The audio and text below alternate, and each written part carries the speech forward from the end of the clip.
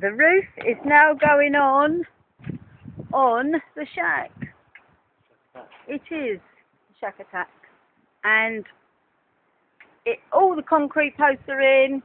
This No, is gonna. one more. Oh, one more go. This is gonna be the doorway here, there. So um, hoping to see phantoms tomorrow.